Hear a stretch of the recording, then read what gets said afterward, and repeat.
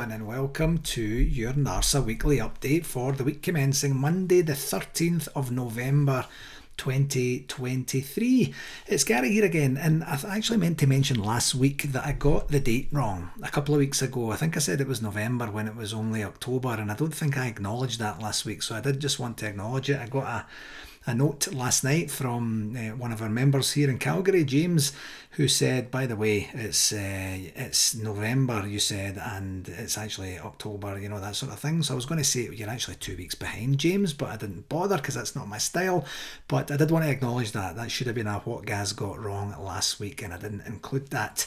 Anyway, we're just on the back of yet another successful week for the team with two victories in and two very important games for us. And I know I say important games um, each week, but it, they really are. I mean, obviously, the, the, cup games are really important because we want to try and win silverware. The league games are really important as we continue to play catch up, and the European games are really important to continue for us to, to fly the flag for, for Scotland again on our own again, and and obviously for the coefficient points and the various other trappings of success that come from that as well. So that's just a life of a Rangers fan. But anyway, I don't know about you, but I'm I'm kind of lamenting the fact that we're coming up uh, against yet another international break. They seem they seem maybe like every month these days, don't they? And I don't know. I know we're we're kind of getting to the final throes of the the qualification for uh, for the Euros for next season, or sorry, next year, I should say. But just when we're hitting stride with solid performances and, of course, more importantly, solid results, you know, and, and makes the watching the team all the more compelling and, quite frankly, all the more enjoyable. These days, you know, it, it just it's a wee bit too bad that we have to take another break. Now that could be Philippe Clement and his his team getting a hold of the players who are not away on international journey, uh, international duty, sorry, and, and you know getting a chance to properly work with them. Um, but uh, you know, it's just it's great to go. It's just a gentle reminder, I guess, for me of how things were back in our genuine, real heyday when when we were showing up to support the team fully, fully expecting a performance and a victory every single time, regardless of who we were we were playing at the time, and how quickly that feeling can be ripped from our grasp and, it, and, it, and then it just seems like a distant memory. Then it starts to creep back in slowly but surely in the roller coaster of life as a Rangers fan isn't it really?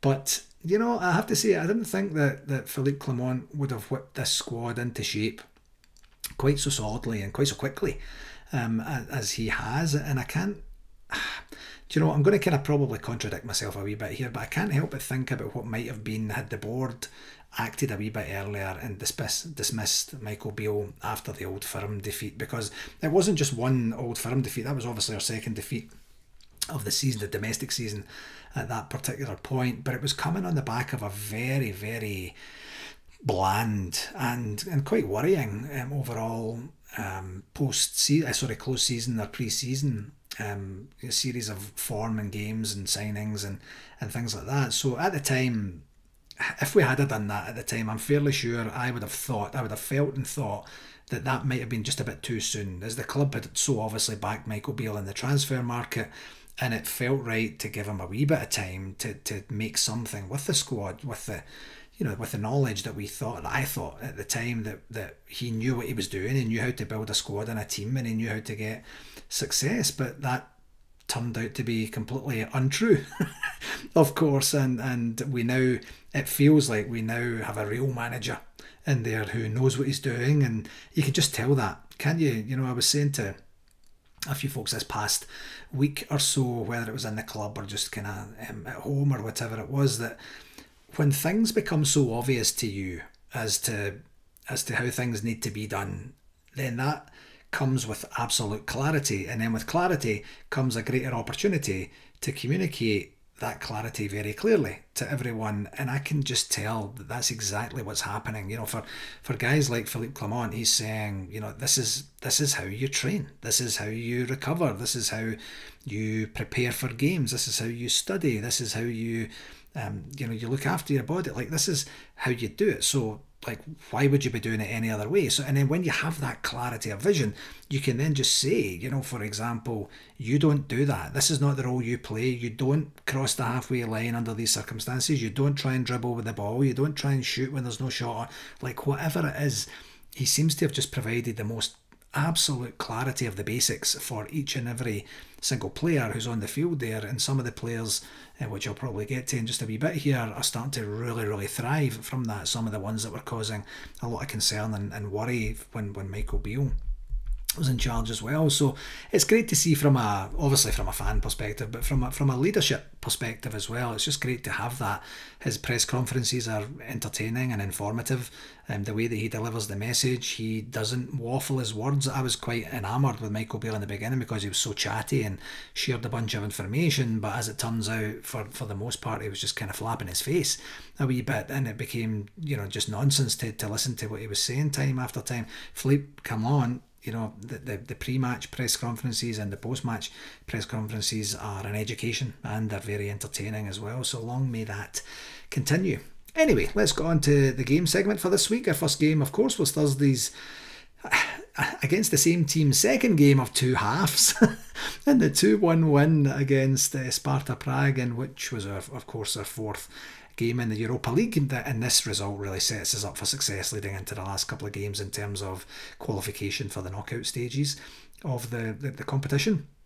All we need to do now is beat Aris Limassol and Ibrox here in, in a couple of weeks, and that's us qualified uh, before we even head to Seville to play Real Betis in the final game, um, which is, of course, just before the League Cup final as well. One good thing about that is if we had to go to Betis and get a result there and put in a monumental effort, which might be in some way um, incapacitating for the Sunday League Cup final. The good thing is Aberdeen are also playing on that Thursday night as well. And although they're out of Europe, um, already confirmed to be out of Europe in the Conference League, the fact that they have a game that time, it doesn't give them a week to recover while we're still playing a very important game. So just those little little nuances of things that, that can add up um, to, to something uh, potentially significant.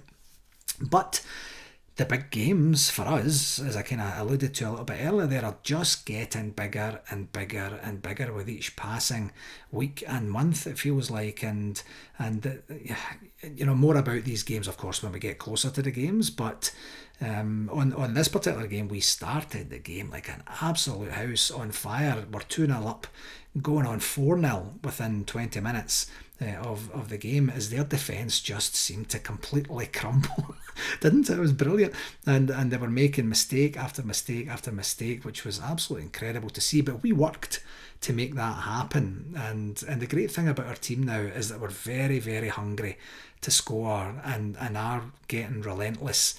Uh, that relentless feel about us again, like we had in the in the 55 season, and we capitalised early on this occasion with goals from Danilo and a, and a brilliant team move, absolutely superbly finished off by a ever returning to form Todd Cantwell. He's getting back now, isn't he? And we just kept going and going, and it really could and should have been more. I'm going to talk about that a wee bit um, when we talk about Sunday's game there. And had it not been for some goalkeeper heroics and and uh, the, the the uprights, we would have we would have definitely made this. This would have been out of sight by half time, and it kind of should have been, to be honest. And I honestly thought we'd get a wee bit more of the same in the second half, but the second half was a bit more, a bit more tepid, not the same intensity or excitement. And then we lost a goal in the seventy seventh minute to give us a bit of a nervy end. But apart from the obligatory brilliant save from Jack Butland, there wasn't really too much to get as you know, very, very nervous or have us completely panicking towards the end of the game. And on reflection and looking at the highlights back, we honestly weren't really in any danger of losing um, any of the three points um, that, that we had deserved or we had earned. And we saw the game out uh, relatively simply. And, and again, back to what I was saying, you know, a couple of months ago, that would have given us heart palpitations. We would have ended the game absolutely emotionally spent and exhausted because the team, we knew that we had a late equaliser um, or a late winner, even um, to lose a late equaliser or winner, I mean, um, in us. We, we knew the team had capitulation throughout um, the entire squad. Um, but this squad is different now. Same team, uh, same, same members of the squad, I should say, but you know we've got uh, we've got some steel about us now. We know that the game management, and we can uh, we can do that fairly well.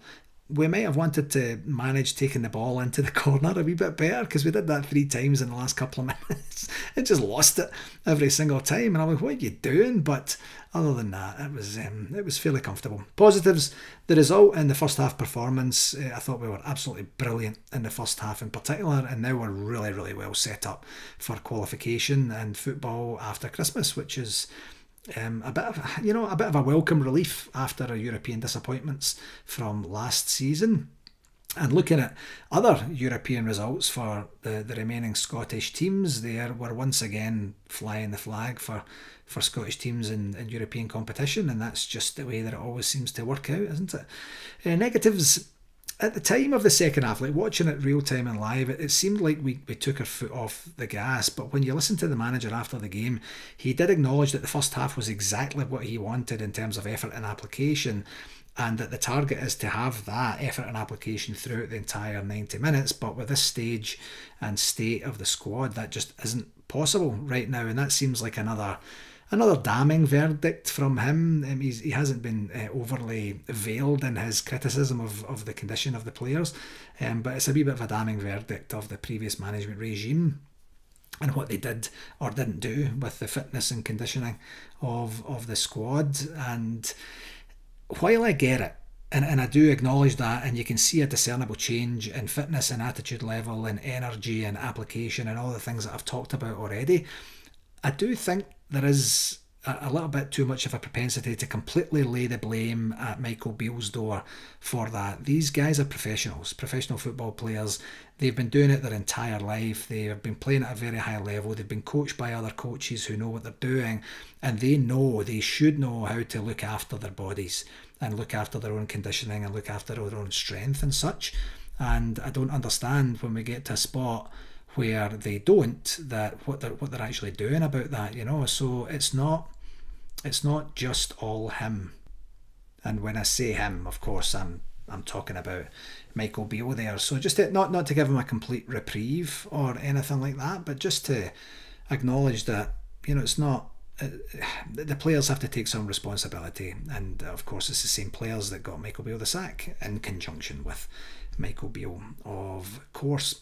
Anyway, in terms of possession, it said interestingly enough that we had 41% possession, which I thought felt like we had more than that. Um, but the, the kicker here is that we had um, a total of 15 shots with 8 on target um, versus uh, they they had seven shots in total and three on target as well. I don't actually recall all three of those, but uh, certainly the Jack Butland save one was at the end. So 41% possession. I guess maybe that was part of the plan to give up um, the lion's share of possession just to make sure that we kept things tight and compact, something like that. So anyway, the referee uh, watch. I thought the referee did okay. I felt that we were really unlucky not to have our third goal immediately after they had scored their first, after Danilo was penalised for the foul. He wasn't even looking at the ball or he wasn't even looking at their player or anything like that. Now, I can see why the referee gave it, and maybe I'd be shouting for it if it was the, the other way, but I felt kind of hard done to uh, for this one. So, for that, he's not going to get the regular 7 out of 10, he's going to get 6.5 out of 10 for that, I think. But yeah, great result, great performance, and very, very happy with that as we move forward. Second game was Sunday's 2 0 away win at Livingston with goals from Cyriel Dessers and a penalty from James Tavernier after uh, Tavernier had, had missed a penalty earlier in the game, like he also did against Hearts uh, a few games ago. As I've mentioned before, with Livingston, you've probably fed up hearing me say this. I never truly enjoy the, the games at Livingston. I think they're always frantic and kind of turgid and, and not very very entertaining. This one was a wee bit different just in terms of, of the fact of how we control the game. I thought I mentioned last week on the on the kind of pre or the, the preview sorry of of the game that Livingston have been on a bit of a of a downer of a streak right now and that's ultimately how it, it turned out to be for them because um, they're not um, they're not in a, in a good space or place at all. I think still still second bottom of the league, and we controlled the game. We, we really did. We uh, we did really really well in the game overall, and these are the games that are going to continue to amass us the points to get us to a point where hopefully we're challenging for the league title come the the business end of the season. But positives: the result in a clean sheet at a place where we have struggled before, but we're exercising those demons slowly but surely as we as we go through. Tom Lawrence and Ross McCausland, uh, Ross McCausland getting a start as well, and also not starting with Sam Lammers. It was was I don't know what the rationale or reasoning behind that was, but that just kind of shows that that the manager doesn't have a blind spot for him is kind of like you know the Bert Konterman rule where he automatically gets a game doesn't matter how he plays each week. Um, so that that was a, that was interesting. And Cyriel Dessers as I mentioned they're getting on the score sheet you know with a bit of a fortuitous effort um, but he was there to, to do it after a brilliant ball from from Tom Lawrence um, it has to be said and, and getting to a spot where um, you know he's he's he has the ability to get a shot away, and it, it, of course it kind of trundles over the line. We just weren't in any danger of losing that game, and, and honestly could and should have have been more a very very competent performance for us. But and this is what I was alluding to a wee bit earlier, when you see yet another Aberdeen capitulation against the, the East End mob, and that sees them stretch the goal difference lead at the top. We were we were a goal ahead of them a, a couple of games ago. It feels like, and now we're like six or seven behind, something like that. And I'm sure, I'm sure Philippe uh, and his, his team will be aware of that, and, and will want us or they will want our chance conversion numbers to be better than what they are right now and make the goal difference less um, of a thing. And I don't mean to suggest that we cast too many looks across the city, but we just need to make sure that we are we're keeping loose tabs on them and then and then figure it out because that capitulation at the end, what was it like three goals they lost in the last three minutes or something like that? It's just pathetic. It's what Aberdeen do. We, we know that. And if you if anybody had seen Kris Boyd's um, post match interview or post match rant, I guess you could probably say it was, where he said it was embarrassing, the players gave up, this is what they do all the time. The good thing for Barry Robson, the Aberdeen manager, is he doesn't have to worry about the next game because the team will be buying up for it because it's against Rangers. I mean, it's so palpably obvious. And it just seems like the entire club of Aberdeen don't care. They don't care what happens against Celtic. They really, really care about what happens against Rangers, and it's just pathetic. And it's typical. It's just the way that they do things. But if you didn't get a chance to see it, and you know, just go to YouTube and um, check out, excuse me, the Kris Boyd post match thing and, and see he's not a happy chappy at all.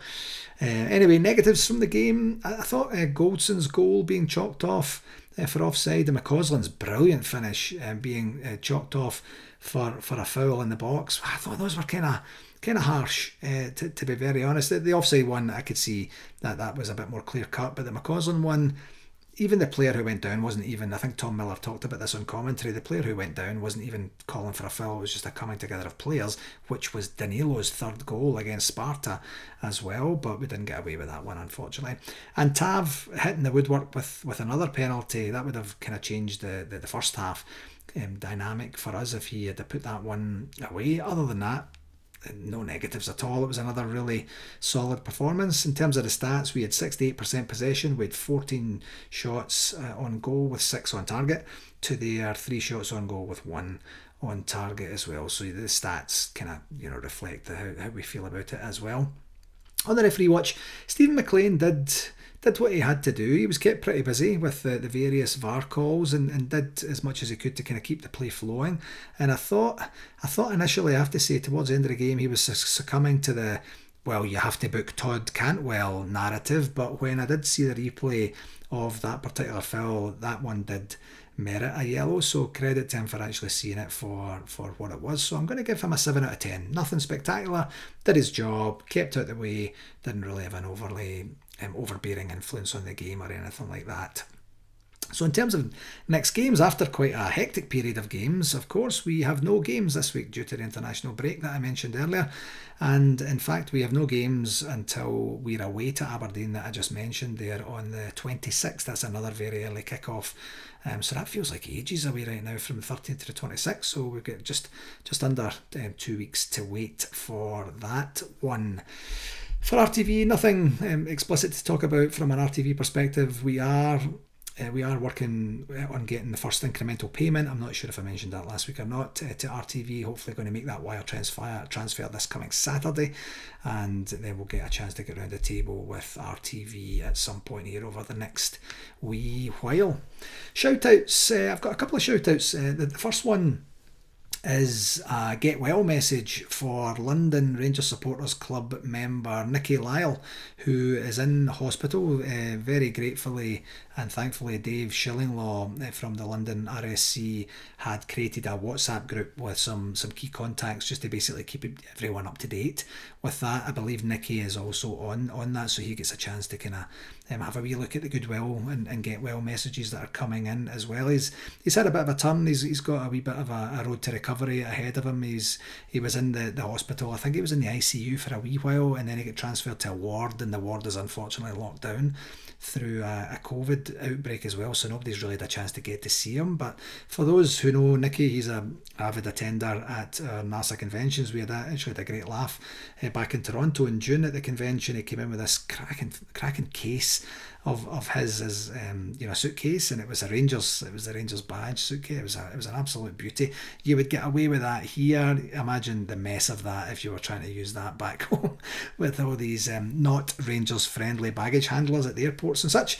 But um, yeah, I hope he's I hope you, I hope you, I hope you're doing well, Nicky, and I hope you, you keep the spirits up. We'll keep the messages going for you, my friend, and wishing you an absolutely speedy recovery from everyone here at NARSA. And friend of Narsa, Alan Frew of Glass Tiger fame, and of course he was our headline act at the Bramalea convention in 2014. He is doing a gig at the the Opera House in Toronto on Saturday, the 17th of February 2024, which is incidentally my sister Debbie's birthday.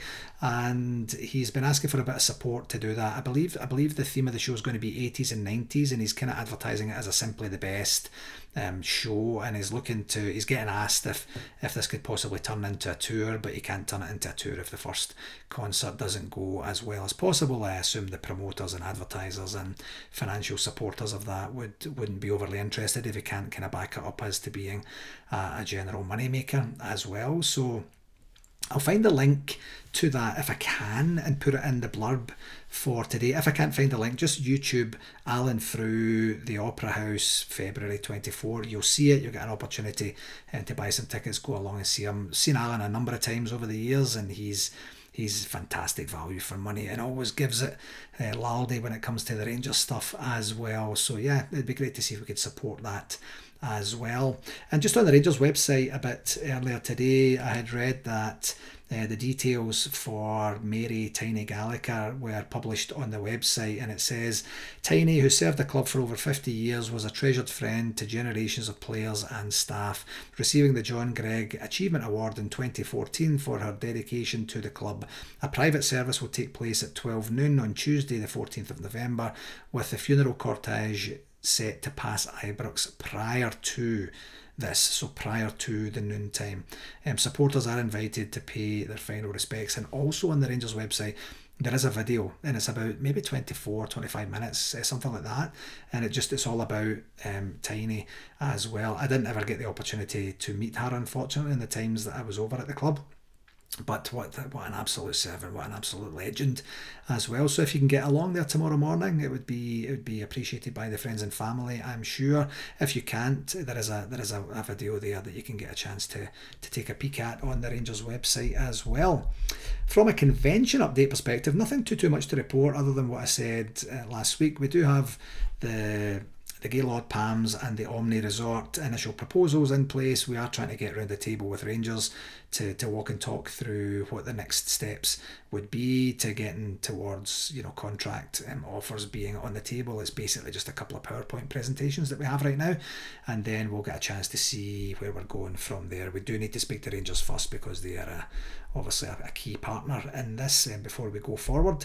So hopefully using the international break as a wee bit of a breather to be able to get that progressed and, and move on with that. I have to say, I was speaking with Graham from Five Stars earlier today. We are just having a bit of a catch up, and, and I said that we've been in, the, NARSA executives specifically have been in a little bit of a a little bit of a funk, a little bit of a, a lull ever since we, we made the difficult decision to uh, to cancel New York 2024, and it feels a wee bit surreal. It doesn't feel like, personally, it doesn't feel like I'm serving the membership um, like I normally am. So I'm going to be using some of this extra time that I've carved out for myself with my career change to catch up on my emails, create a proper strategy for the next you know 18 months or so as we ease into um, the next cycle of elections and stuff like that for 2025 but more importantly to get the conventions back on the roadmap that's what keeps us ticking over i've never known a time other than during covid when we, we didn't have a convention to organise and i'm starting to kind of miss it a little bit as well so you'll hear a wee bit more active information as we go forward from there as well on communications for this week on the Gers Guide, today there is information about the away days um, that's on, that you probably find it on YouTube and it's certainly on the Rangers TV website. And there's also, for, for the women's team as well, there's also Inside Broadwood, which chronicles the, the game against uh, Boroughmuir Thistle, which Rangers ran out 7 0 winners in the, the Sky Challenge Cup there. So we're back into the semi finals of that tournament as well. Congratulations to all the women. Uh, tomorrow there's going to be on the Rangers website a loan review. I talked about the loan reviews there a couple of shows ago and just it's just fascinating to keep to keep tabs on who's doing what and how things are going elsewhere and things like that so always a good read on wednesday there's an international preview nothing specific slated for thursday and on friday there's a, a big press conference um, regarding the game uh, between rangers and glasgow city which is this coming Saturday. Um, so that, that's going to be that's a big one, of course. The games against Celtic and Glasgow City. Glasgow City haven't had a um, haven't had a great season thus far, so they'll be looking to claw some points back, I'm sure. There's also going to be information over Rangers social media channels um, regarding celebrating Brogan Hay and Nicola Docherty, who have recently celebrated 100 appearances for the, the women's team as well and a really interesting piece on goalkeeping generations and this this particular part of, of the show on Rangers TV chronicles Peter McCloy and Mason Munn as well so really going to um, look forward to keeping an eye out for that and seeing what that sort of stuff is. Peter McCloy was absolutely gold dust for us in Vegas last year just could not do enough for everyone when he was there and when he walked in with the replica of the of the Cup Winners' Cup from 1972. The place erupted. It was fantastic. And then on Saturday is the, the Glasgow City versus Rangers game, and that's in the Scottish Power Women's Premier League at Petershill Park with a 2:10 p.m. kickoff. Nothing slated for Sunday on the Gers Guide. We do still have the two two tickets for the Heart and Hand live show uh, that's coming up on the December on December the first. I keep saying it every week. we will get it out there. I promise we will. I'll talk to the communications folks this week if you didn't get a chance to see either on the Rangers website or on Rangers social media channels the drone tour that they did, which is a, a one take drone tour that takes you from kind of basically outside Ibrox along the street and then it goes in through the stadium, through the museum, through Edmiston House, back to the stadium. It's absolutely out of this world. It's about six minutes long. I, I typically, that's too long for me. he says entering the 28th minute of the, the pod this week. But once I sat down and actually watched it in entirety, absolutely incredible to see uh, you know how beautiful our stadium is how incredible the, the facilities and amenities on the stadium campus are and things like that. It makes me very proud to be a Rangers fan. Whoever dreamed that up and then executed is absolutely amazing. Congratulations and well done. You should check that out. I definitely will put a link to the, the blurb on that uh, for this week's article for this week's blurb on the on the pod for this week's pod. I mean, and then uh, what I was hoping to do this week, I didn't get a chance to do it yet, was just to get some information from the the fans forum that was held last week at Edmiston House, just to get some details on that. I assume they're going through the notes. The notes will eventually be published. I heard some bits and pieces um, around, you know, what Clement was saying about the condition of the players. That we did have a key player out, which turned out to be Scott Scott Wright for the European game last week. He was leaving to go and see the B team, I believe. Um, but by all accounts, it was a good it was a good session. I don't want to give you any kind of rumor or innuendo about what was or wasn't covered that day, so I'll just wait till the notes come out and then just give you a wee bit of a summary. Hopefully that will be next week or the week after, something like that. And just earlier today, we, we did see that the, the annual report was published in, in advance of the annual general meeting, which is going to be held on the 5th of December. And some of the key highlights that are listed is the club reported uh, another set of, of healthy, robust financials to build on our previous years. It was our second consecutive year of operating profit. Our overall overall revenue is above 80 million annually and we had record commercial revenue positive player trading performance um, which is a fundamental um, pillar to the club's business model and continued investment in the facilities and the team which uh, will again uh, be continuing going forward. And speaking about the, the annual report, John Bennett, our chairman, had said the club has, for the second year in succession, returned an operating profit. Turnover for the year to 30th of June 2023 was 83.8 million, generating an operating profit of 252,000 pounds. And while successive years of operating profitability can be seen as encouraging, especially in light of what had gone on before, there is still much work to be to be done. The club vision must be simple and clear, sustainable success. This applies both on and off the pitch, and it must be a mantra by which all at the club live. Football is a business which is particularly prone to being reactive, and while this may be inherent in the industry, sustainable success can only come when we are assist- we are systematic in our processes and in our actions. It's my firm conviction that this is a precursor to returning the club to the status of serial winners. I have talked previously of the four components of financial sustainability: season ticket sales commercial revenue, European football, and player trading. And while the first of these components will never be taken for granted, it's the fourth that requires the attention. Player trading will always be inherently volatile, yet Rangers must replace sporadic wins with systematic success. It's a given that it all begins with player recruitment. This is an area of priority for your board, and we anticipate that the, com- the coming months will see a strengthening in the leadership and processes of our football department, specifically with this in mind. So they're, they're talking there, of course, about the the director of football or sporting director, whatever he's likely to be called. Probably also maybe confirming one of the first team coaches as well. You, you remember that when Philippe Clement came in, he says he would give it a number of weeks to, to just try and discern what he needed from from that as we go forward. And the the main thing is sustainable sustainability like having the basics in place and continuing to sustain and you know ongoing operations ongoing profitability um, and, and ongoing um, you know communication and dialogue with the, with the key stakeholders at the club including the fans as well. So yeah really good quite exciting to see. And the, the AGM only being just what's that about three weeks away? Now that'll be interesting to see how that all goes as well. Okay okay that will do it for this week my friends. As always I'd like to take this opportunity to thank you very very very much for taking the time to listen. And please do share it with someone that you think might enjoy it. Until next week I think you know, we're, we're just in a situation where we get an opportunity. We have earned the right for a bit of a rest. We can see how the internationals uh, pan out for the various players that are involved in those, the various Rangers players that are involved in those as we go forward. And then we'll get an opportunity to be back and look forward to our next game against Aberdeen as we close in on the League Cup final. So until next week, please do take care of yourselves and all the very best to you, okay? Cheerio now.